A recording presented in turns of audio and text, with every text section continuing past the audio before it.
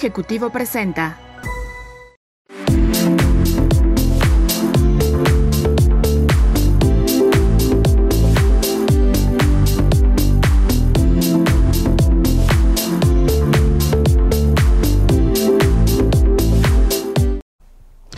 Hola, ¿qué tal? Bienvenida, bienvenido a AVE Valor Estratégico. Estamos aquí en Agregando Valor y tengo el enorme gusto de tener un invitadazo de lujo que es Camilo Plaza, CEO de BBDO. Bienvenido, Camilo, ¿cómo estás? Hola, muchas, muchas gracias por la invitación. Muy feliz de estar aquí en Mundo Ejecutivo y pues un honor gigante estar acá.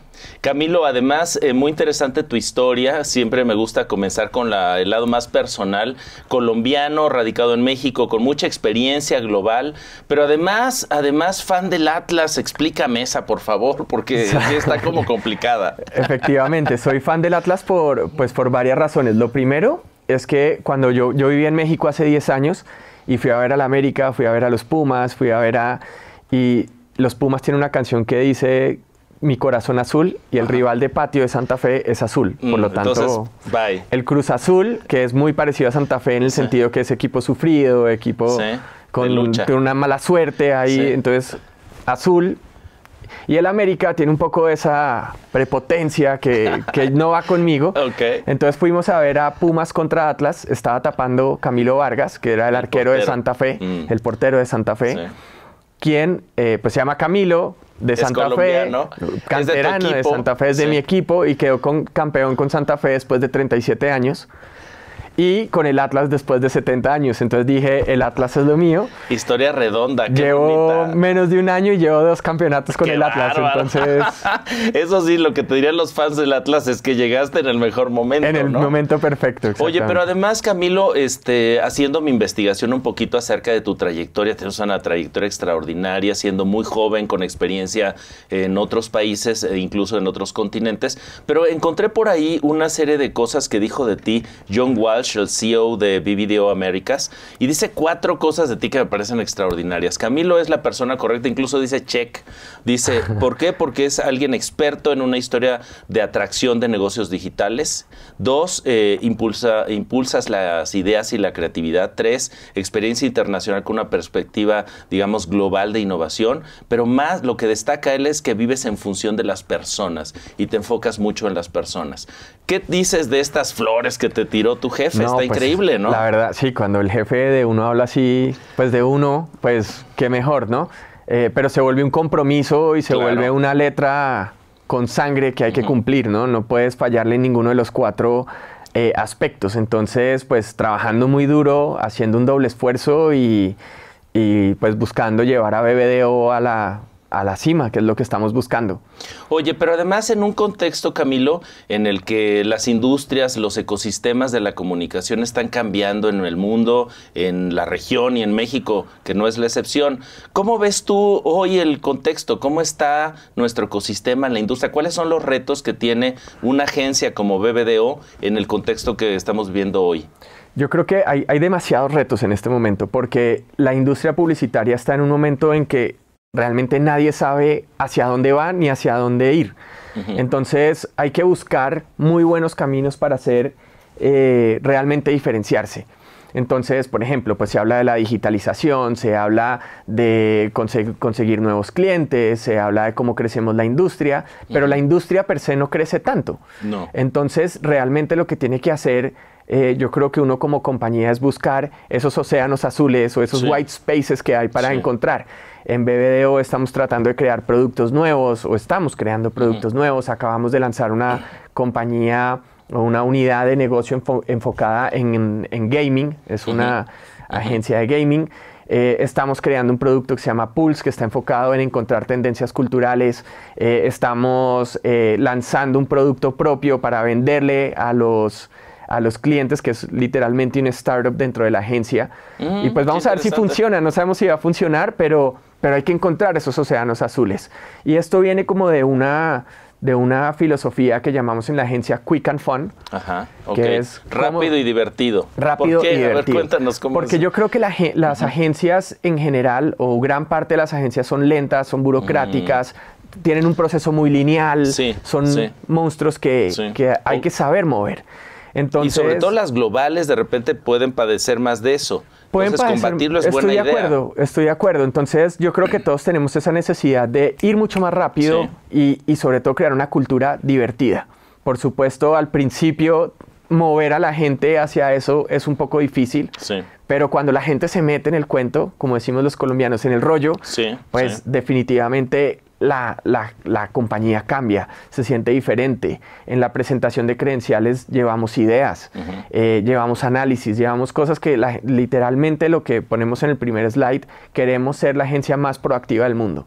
Wow. Y vamos a seguir en eso. Entonces hay que ser proactivos siempre, desde la presentación de credenciales a cuando te visita el cliente en la agencia, a cuando estás en una conversación de negocio, siempre es qué otra milla hay. ¿Qué otra medida? ¿Cómo, cómo, ¿Cómo lo llevas más adelante? Y yo creo que ahí, Camilo, una de las cosas que estamos enfrentando todas las personas que estamos en estos, en estos ecosistemas industriales de la comunicación, el marketing, la publicidad, que nos toca atraer la atención de audiencias que hoy parecen profesionales de ignorar. Es cada vez más difícil captar la atención y entre más joven diría yo que es más difícil aún, ¿no? Porque te volviste experto en ignorar a eso que no te interesa, que no es pertinente. Yo entiendo que en BBDO tiene una perspectiva, digamos, muy profunda respecto a ello, a, cómo podemos verdaderamente generar engagement o vinculación emocional estable, más allá de un simple ruido de fondo este, comunicacional, algo que verdaderamente conecte una marca con sus audiencias. ¿Nos puedes contar un poquito de eso, Camilo? Claro que sí. Nosotros eh, estamos, tenemos un proceso que se llama Driving Innovation y básicamente lo que buscamos es cómo le damos valor a las compañías con las que trabajamos. ¿Cuál es el valor que necesita nuestro cliente para, crecer. Y hay tres formas de crecer.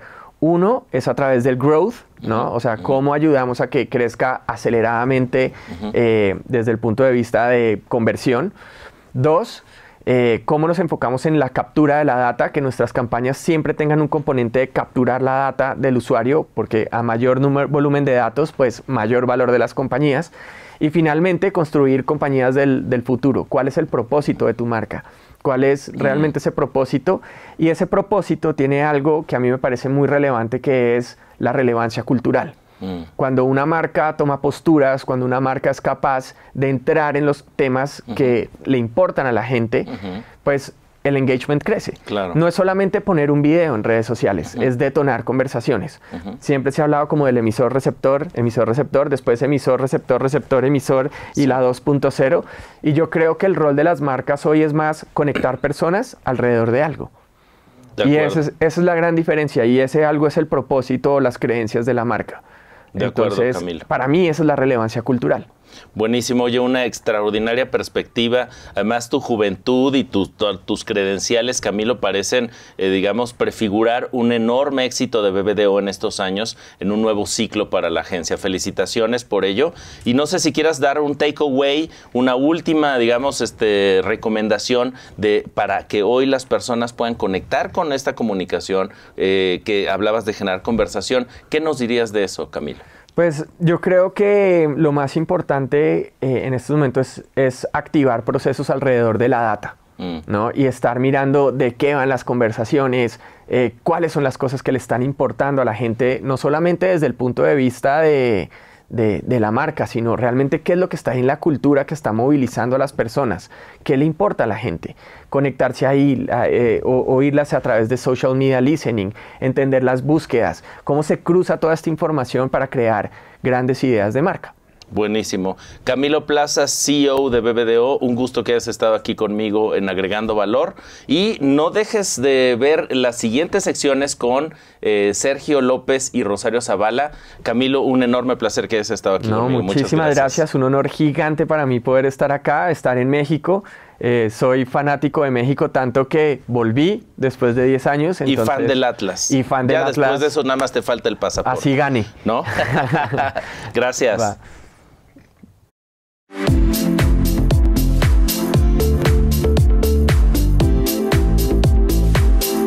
Conoce el único marketplace First Class que tenemos para ti. Encuentra lo que deseas en cualquier momento y desde cualquier lugar en mishop.com.mx. Visítanos y comienza a disfrutar de nuestros más de 500 productos de primera calidad. Tus compras por internet nunca te habían dado tanto prestigio.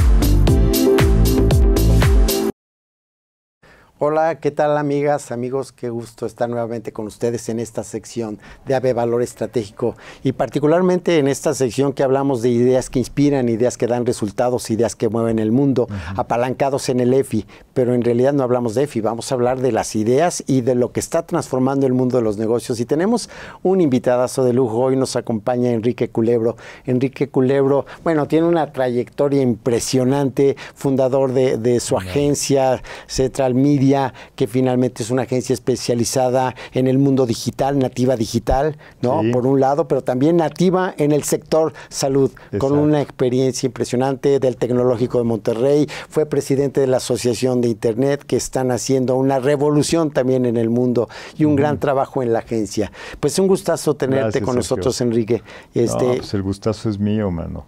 Qué pues padre hablar de estos temas y que haya este, estos espacios para para debatir, para analizar, para eh, ver cómo continuamos y cómo avanzamos, ¿no? Sí, tenemos que provocar, ¿no? Yo creo que es importante. Estamos viviendo una época de transformación en el mundo y no hablamos de la transformación política. Estamos hablando de transformación de negocios, del consumidor, del mercado, de las especialidades y marketing digital, pero en el sector salud. Claro, porque de marketing digital, pues estoy seguro que has tenido aquí a muchos expertos y ya, ya hay bastante eh, contenido sobre cómo hacerlo de la mejor manera. Lo que es para, para mis colegas, para eh, las personas de los laboratorios farmacéuticos, de hospitales, de farmacia, algo nuevo es aplicar esos conceptos cuando le estamos hablando a un paciente o a un médico o a un cuidador. Ese tipo de públicos eh, pues tienen ciertas características muy diferentes a las del consumidor tradicional. Claro. De entrada, este, cuando hablamos de productos de consumo, pues como marqueteros, como publicistas, lo que queremos es crear demanda, ¿no? Que más personas se les antoje, quieran tener nuestro producto, quieran adquirir nuestro servicio. Pero cuando hablamos de temas de salud, pues yo no puedo crear más enfermos de diabetes o de cáncer o de caray, ni quiero, ni puedo, ni debo, ¿no? Lo que tengo que hacer es entender muy bien eh, qué está viviendo esa persona que tiene un padecimiento y cómo llegar en el momento preciso a darle una buena recomendación que realmente y profundamente lo ayude para tener una mejor calidad de vida. Y lo mismo es con el médico. Yo no, yo no le voy a inventar este, más pacientes para que su consulta crezca. Ese no es el objetivo de ningún doctor ni de ninguna empresa farmacéutica. El objetivo es dar la solución cuando se presente el caso que resulta que cubre los requisitos para que un tratamiento sea suministrado, ¿no? Claro. Entonces ahí cambia toda la lógica. Caray, lo dije ahorita en dos minutos, pero comprenderlo te lleva décadas. Claro, porque además son dos audiencias distintas. Uno es el público general con una con un tipo de productos en donde les, les vendes, como bien apuntas, calidad de vida, ¿no? Salud. No vendes medicamentos. Entonces vendes mucho más que eso. Pero tienes otra audiencia, la especializada, que son los propios médicos médicos que tienen que recetar ciertos productos. Y ahí hay una competencia de las diferentes marcas. Entonces ellos tienes que convencer a médicos, a profesionales. Y finalmente también ante un fenómeno que está sucediendo a partir de, de la revolución tecnológica y luego acelerado por la pandemia. ¿no? Claro. Que es antes la publicidad o la comunicación con los doctores eran, este, obviamente grandes convenciones o de uno a uno. Ahora el mundo cambió. ¿Cómo ser relevante ahora con este sector de médicos por un lado y luego con un sector de una población que tenemos más conciencia o quizá menos conciencia de la relevancia de la salud. No, mucha más conciencia, Sergio. Por supuesto. De entrada hay varios indicadores. Mira, 83% de incremento en tráfico en 2021 versus 2020 en sitios de información de salud. En todo México, son datos de Comscore, 83% más usuarios hicieron visitas a estos sitios. Y como se relevante, nada más te dice el interés que tiene el internauta mexicano de encontrar sus síntomas, sus efectos adversos cuando toman medicamento, sus médicos, ¿no? cualquier información que sabemos que podemos encontrar en Internet. Y por otro lado, los médicos, afortunadamente, yo, a mí me toca mucho hablar con los doctores sobre tecnología y salud. Y hace unos cinco años, pues era convencerlos de que el mundo digital estaba presente y era relevante. No todos estaban de acuerdo, no todos lo veían cercano y ahora ya no tengo ese problema. Ya no es un tema de convencer que el mundo digital es relevante para, la salud. Ahora son los combos. Yo ya sé que el paciente quiere hacer una videoconferencia conmigo, doctor, eh, desde la comodidad de su casa, cómo, cuál es la mejor forma de hacerlo, cuál es la más segura, cuál es la que protege sus datos personales, etcétera, ¿no? Yo, el laboratorio, ya sé que tengo que comunicarme con el médico a través de canales digitales porque el médico los utiliza para su práctica profesional. ¿Cuáles son los más adecuados? ¿Cómo entrego el mensaje? ¿Cuáles son los formatos? Ya estamos en ese nivel de la discusión, afortunadamente. Sin duda, es un producto de la pandemia. No, era, no es algo deseable que, que tuviéramos estos años de estas reflexiones sobre los temas de salud, pero bueno, sucedió y esa es una de, los, de las cosas que podemos rescatar. Mayor conciencia sobre que la salud es importante y mayor entendimiento de que los medios digitales pueden venir a resolver muchos problemas que llevamos por décadas sufriendo los mexicanos con relación ¿Y cuáles son esos retos que tienen de aquí para adelante? Ya empezó a haber esta conciencia de la salud, ya este 83% habla de la importancia que le estamos dando las personas a nuestra salud personal, estamos más este, inquietos por entender qué nos duele, qué nos molesta y entender cómo solucionarlo. ¿Cuáles son los principales desafíos en este mundo digital y el marketing? Y ser relevante y además dejar eficiencia y resultados tangibles. Pues mira, hay, muchos, eh, pero eh, principalmente cuidar todos los aspectos éticos. Estamos acostumbrados, los que, los que estamos cercanos a la tecnología, a la, a la filosofía de muévete rápido, rompe todo, tú innova, disrumpe.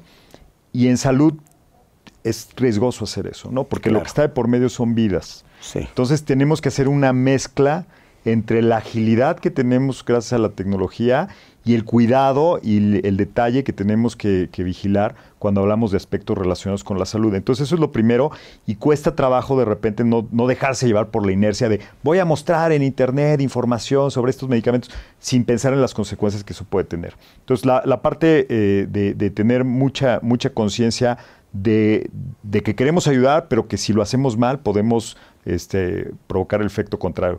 Ejemplos, pues la desinformación, ¿no? Las noticias falsas, la información que puede provocar que alguien se automedique o que alargue eh, su, su, su, decisión de visitar a un, a un especialista. Eso es lo que tenemos que cuidar mucho. Y ya de ahí, algunos aspectos que tienen que ver con cómo la regulación actual está o no está bien alineada con estos nuevos canales. La, regulación publicitaria en temas de salud, pues se diseñó pensando en los medios tradicionales principalmente. Entonces no hay realmente este, todavía un consenso de cuál es la mejor interpretación de cómo debe de aplicarse esos conceptos base a los medios digitales. Cumplir con la ley. Mucho. Hay, que, cumplir con la ley, pero también hay que entender este, que, los formatos cambiaron, y que hay mucha información que existe en el mundo digital que no necesariamente está, controlada por los anunciantes y que puede provocar más daño. Este, que, ayuda y que si los anunciantes tuvieran ciertas ciertos, este, herramientas a su alcance, tal vez pudieran dar la información verídica, eh, que busca ayudar, que es científica, ¿no? Y que logre que el usuario tome mejores decisiones. Y de ahí muchas, muchas otras eh, controversias se tienen que ir definiendo con relación a cuál es la mejor manera de hacer el servicio de atención sanitaria eh, utilizando la tecnología. En eso estamos en medio. Apenas, es más, ni siquiera en medio, estamos iniciando la conversación de cuál es la revolución que va a tener la industria de la salud en los próximos años. Así como movilidad tuvo su, disrupción, entretenimiento, eh, e-commerce, financiero, ¿no? En este momento estamos en, ese, en, ese, en esa disrupción de esa industria. Bueno, pues aquí empieza la de salud. ¿Qué va a pasar en cinco años? Pues seguramente nada de lo que estamos viendo ahora. Claro, hay que, hay que, no hay que predecir el futuro, hay que inventarlo. Exactamente. No, pues yo creo que, bueno, aquí el tiempo, como tú sabes, es rígido y este hemos, hemos concluido eh, el tiempo, pero yo diría una cosa muy importante. Este, el tema del marketing digital en el sector salud no es un marketing de ocurrencia requiere un análisis, un pensamiento profundo para lograr resultados que mejoren la vida de las personas, que es Sin duda. Ese es el objetivo que tenemos y vaya que el marketing lo puede lograr, sobre todo cuando lo aplicamos a canales digitales. Y marketing no es mentira. El marketing bien aplicado es ciencia, es exactitud, es inteligencia, es creatividad y es medición. Así como la salud. Como la salud. Tiene ciertas similitudes, sin duda. Pues muchas gracias, querido Enrique. Un placer que nos hayas acompañado y seguramente estaremos conversando más contigo para entrar más a los detalles del tema justamente legislativo, las nuevas tecnologías, las nuevas herramientas y cómo hacer de esta industria de la salud todavía una industria más cercana a la gente que estamos en redes sociales buscando y llenos de mentiras. ¿no? Pues muchísimas gracias. Desafortunadamente, pero vamos a mejorar esa situación sin duda. Enrique, nuevamente un agradecimiento a nuestra querida audiencia también. Ya saben, pueden consultarnos aquí en ABMX, ¿no? www, en nuestras redes sociales. Enrique, vamos a poner, ahí están también sus redes sociales, este, para que cualquier duda, cualquier comentario, sugerencia y también asesoría en marketing digital, con pues, mucho por gusto. supuesto. Muchísimas gracias, que tengan muy buenas jornadas. Hasta luego.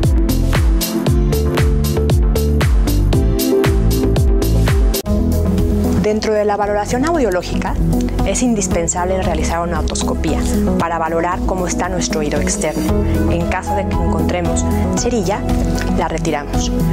Por favor, no utilices nada para limpiar en casa tus oídos. No metas cotonetes, pasadores, ningún otro instrumento. Si sospechas que tienes un tapón de cerilla, acude a tu especialista. En Grupo de ASA los atendemos.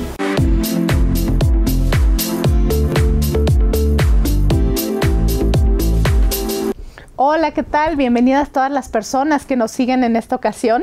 Me da muchísimo gusto estar nuevamente con ustedes. Soy Rosario Zavala, presidenta del Comité de Igualdad e Inclusión en AVE. Y como siempre ya saben que yo soy muy feliz en este espacio y en particular hoy me siento mucho más feliz, agradecida y honrada de tener a Mili Cohen. ¿Cómo estás, Mili? Muchas gracias, muy bien. Es feliz también de estar en este espacio. No, de verdad. Contigo no sabes cómo eh, pues se llena este foro con tu presencia. Voy a presentarte con la audiencia. Mili Cohen es vicepresidenta y cofundadora del Museo de Memoria y Tolerancia. Este espacio tan relevante para nuestro país por todos los temas que nos hace reflexionar en cuestión de tolerancia, que ahorita tú nos vas a platicar un poquito más, Mili. Y ha sido una persona reconocidísima por todo lo que aporta a nuestra sociedad Mujer del Año, eh, Paloma de Plata, que es un reconocimiento que hace una asociación para tener una convivencia sin violencia y en particular premia a personas que aportan mucho para que haya una mejor salud, más seguridad y sobre todo los derechos de las personas jóvenes. También presides la Fundación Ayuda México, que es una fundación súper bonita respecto a la ayuda para niños y niños de escasos recursos que tienen cáncer. Así es que bueno, eh, ¿qué más puedo decir, Mili? Me quedo muy corta con el espacio en presentarte, eh, escritora también, coautora, directora de distintos títulos. Y pues bueno, eh, me gustaría muchísimo que a toda la audiencia nos hables del Museo de Memoria y Tolerancia. Ay, pues muchas gracias Rosario por el espacio. Eh, bueno, antes que nada invitarlos porque ya estamos abiertos después de estos dos años de pandemia que ha sido todo un reto eh, a que lo conozcan.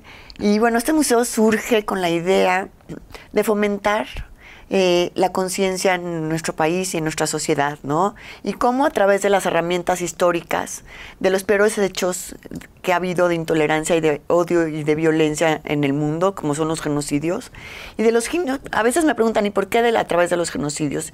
Yo siempre he pensado que este tipo de situaciones de, de eh, bueno, más que haya de situaciones, de este tipo de, de límite en donde llega este ser humano, esta parte destructiva, ah, podemos sacar una biopsia del ser humano, eh, por ejemplo, del del holocausto, de la Segunda Guerra Mundial, en qué momento maestros se convierten este, en personas que entregan a sus alumnos o, doctores, que, eh, científicos que creen en, las teorías raciales o doctores que hacen experimentos médicos y también estos héroes maravillosos eh, que salvan vidas a pesar de arriesgar la suya propia. Es como esta biopsia de la humanidad en donde estas situaciones límites, en, en donde nos probamos como personas, como seres humanos y de ahí me llamaba la atención el hecho de estudiar los genocidios, porque todos tenemos una parte constructiva y una destructiva dentro de nosotros. Y yo me preguntaba cuál saldría en mí.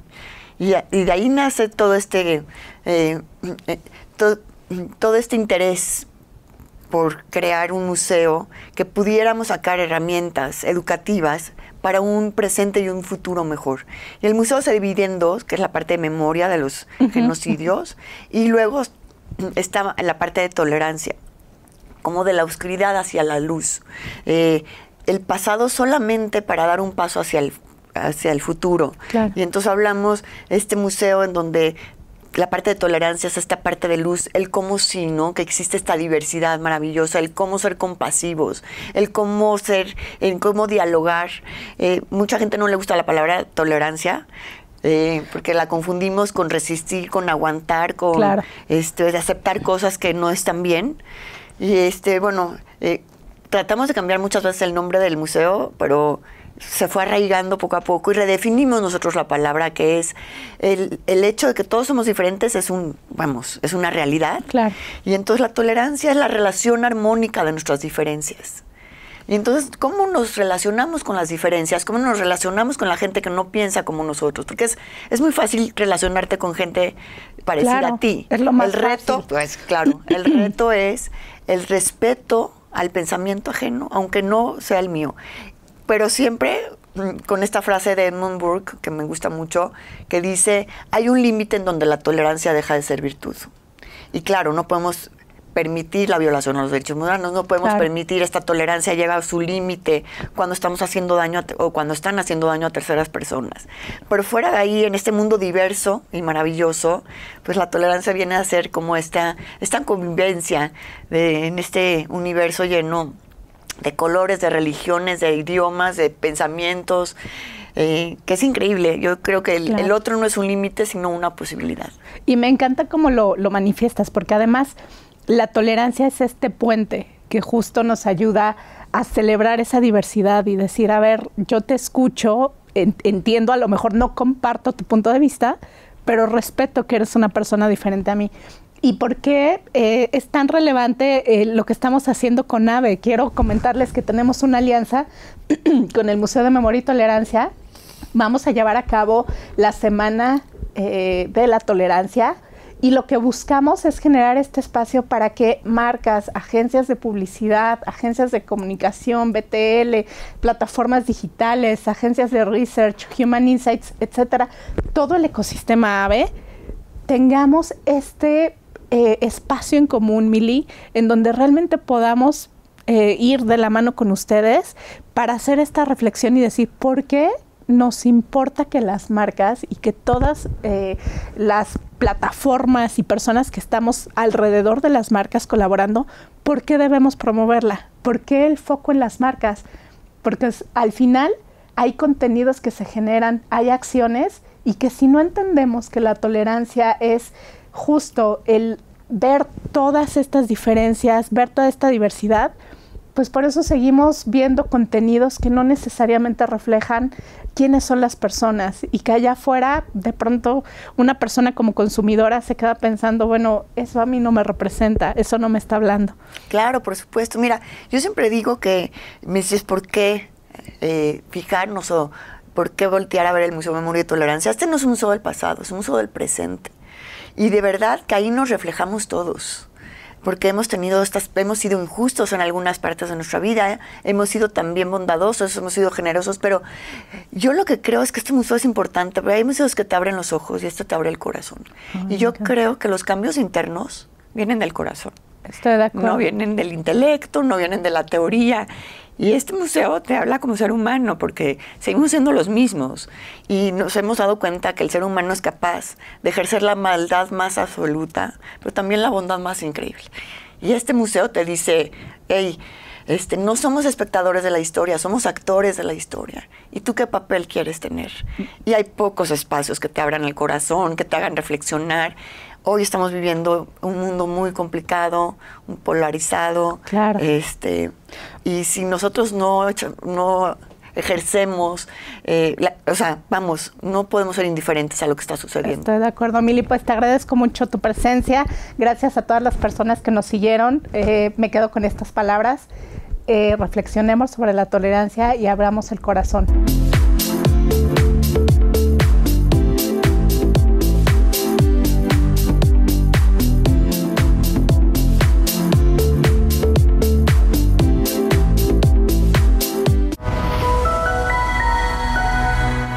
Ejecutivo presentó